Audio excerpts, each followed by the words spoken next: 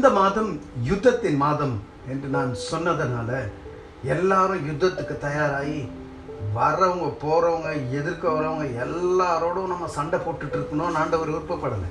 உங்களோடு உங்களுக்காக உங்களை காப்பாற்றுவதற்காக இருப்பேன் என்று நான் வாக்குதத்தம் சொன்னார். என் ஆண்டவர் அதனால் கத்தர் என்னோடு கூட யுத்தத்தில் இருக்கிறாருன்னு சொல்லி நம்ம எல்லாரோடவும் சண்டை போட்டுட்டு இருக்குது சரியானதில்லை. சூஸ் யோர் பேட்டில்ஸ் உங்களுடைய போராட்டங்களை நீங்க தேர்வு செய்ய வேண்டும். உங்களுடைய எதிராளிகளை நீங்க தீர்மானிக்கணும். பல பேர் நம்ம டிஸ்ட்ராக்ட் பண்ணுவதற்காக நம்முடைய கவனத்தை திருப்புவதற்காக நம்மோடு கூட சண்டை போடுறத போல எரிச்சல் உண்டாக்கி கொண்டிருப்பார் எரிச்சல் உண்டாக்குற எல்லாரிடத்திலையும் நம்ம சண்டை போட்டோம்னா நம்முடைய இலக்கை நாம் சென்று அடைய முடியாது. ஆண்டவர் நமக்கு என்று ஒரு டெஸ்டினேஷனை வச்சிருக்கார். டெஸ்டினி வச்சிருக்கார். இலக்கு.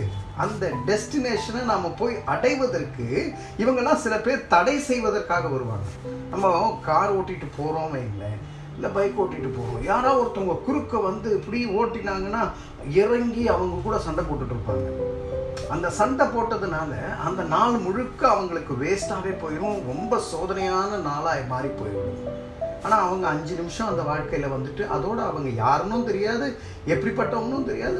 சண்டை போட்டுட்டு நம்ம நம்ம சமாதானத்தை இழந்து போயிடும் அதை பற்றி அழகாக ஞானிகளின் சிறந்த ஞானியான சாலமோன் ராஜா சொல்லும் பொழுது சொல்லுகிறார் நீதிமொழிகள் இருபத்தி ஆறாவது அதிகாரத்திலே பதினேழாவது வசனத்திலே வழியே போகையில் தனக்கடாத வழக்கிலே தலையிடுகிறவன் நாயை காதை பிடித்து இழுக்கிறவனை போல் இருக்கிறானா? அந்த நாய் போற நாய் காதை பிடிச்சி இழுக்கிறது போல.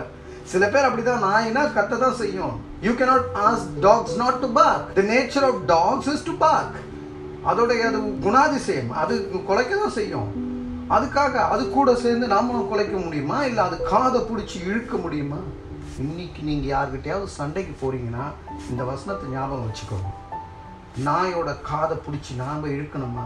அது நாயின்னு நமக்கு தான் தெரியுது இல்லை நாம பாட்டுக்கு நம்ம வழியே போவோம். தாவிது அழகாய் அண்ணனுக்கு சாப்பாடு எடுத்துட்டு போறார். ஜெஸ்ஸி அவங்க அப்பா சொல்றாரு நீ போய் சாப்பாடு எடுத்துட்டு போப்பா. அண்ணன் அண்ணன்மாருங்க போர் புரிஞ்சுக்கிட்டு இருக்காங்க. அங்க சாப்பாடு எடுத்துட்டு போகும்போது இந்த பெலிஸ்தியன் ஆகிய கோலியாத் அங்கே கர்ஜித்து கொண்டு இருக்கின்றான் இவனுக்கு கோபம் வருது. இவன் கோபப்பட்டு அங்க பேசுறான். மற்றவங்க இடத்துல என்ன கிடைக்கும்? இவனை வெற்றி சிறந்தா என்ன கிடைக்கும்? அப்படின்னு. அப்போ அவங்க சொல்றாங்க சவுலின் மகளை கொடுப்பாரு அது மாத்திரம் இல்லை அவங்க வீட்டில் இருக்கிறவங்க அத்தனை பேரும் டாக்ஸே கட்ட வேணாம் ஜிஎஸ்டியே கிடையாது அப்படின்னு சொல்லி அந்த மாதிரி செய்தியை கேட்டுக்கொண்டு இருக்கின்றான். அப்போ அவங்க அண்ணங்காரன் வரான். நமக்கு பல நேரங்களில் நமக்கு எதிரி நம்ம பின்னாடி பேசுகிறவங்களும் நம்ம அண்ணங்காரங்களாக இருப்பாங்க. ஏன்னா நம்ம வளர்ச்சி அவங்களுக்கு பிடிக்காது. பல நேரங்கள். எல்லா நேரங்கள்னு சொல்லணும். இல்லை சில நேரங்கள்லாம் கூட வச்சுக்கலாமே. அப்படி. அப்போது அவன் பின்னாடி இருந்து அவன் எலியாப் சொல்கிறான் உனக்கு என்ன வேலை? உன்னை ஆடு தானே மேய்க்க சொன்னாங்க அப்பா.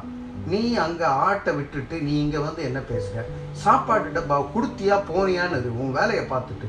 அப்படின்னு சொல்லும்போது தாவீது ஒரு அழகான ஒரு ஒரு காரியத்தை செய்கின்றான் பாருங்க. ஹி டேர்ன்ட் அவே என்று வேதம் சொல்லுகிறதை பார்க்கின்றோம். ஒன்று சாம்பியல் பதினேழாவது அதிகாரத்திலே பார்க்கும்போது அதற்கு தாவிது நான் இப்பொழுது செய்தது என்ன? நான் வந்ததற்கு முகாந்திரம் இல்லையா? என்று சொல்லி அவனை விட்டு வேறொருவனிடத்தில் திரும்பி என்று இருபத்தி ஒன்பது முப்பது வசனங்களில் பார்க்கின்றோம். வேறொருவனிடத்திலே திரும்பி அந்த பிரகாரமாகவே கேட்டான். ஜனங்கள் முன் போலவே உத்தரவு சொன்னார்கள் என்று. ஆனால் தாவீது சொன்னதை சவுலுக்கு எடுத்து போய் சொன்னாங்க. அன்னைக்கு எலியாபிடத்திலே தாவீது சண்டை போட்டிருந்தான்னா நாய் காதை பிடிச்சி இழுக்கிற மாதிரி அந்த இடத்துலேருந்து அவன் விரட்டி அடிக்கப்பட்டிருப்பான். கோலியாத்தை வெற்றி சிறக்க சிறந்திருக்க முடியாது. அவனுடைய டெஸ்டினேஷனான ராஜாவாக மாறுவதற்கு ஒரு தடையாக இருந்திருக்கும். சூஸ் யர் பேட்டல்ஸ் உங்களுடைய போராட்டங்கள் உங்களுடைய சண்டைகளை யாரிடத்திலே நாம் சண்டை போட்டு கொண்டிருக்கிறோம் யுத்தம் போட்டு கொண்டிருக்கின்றோம் என்பதை நீங்கள் தேர்வு செய்ய வேண்டும். உங்களுடைய எதிரிகளை நீங்கள் தேர்வு செய்ய வேண்டும். போற வரவங்க கிட்டலாம் நம்ம சண்டை போட்டுட்டு இருந்தோன்னா நாய் காதை பிடிச்சி இழுக்கிறது போல இருப்போம். அப்படி இராமல் சமாதானத்தோடு ஒரு ஸ்ட்ராட்டஜியோடு இலக்கை நோக்கி ஓட கத்தர் உதவி செய்வாராக. God morning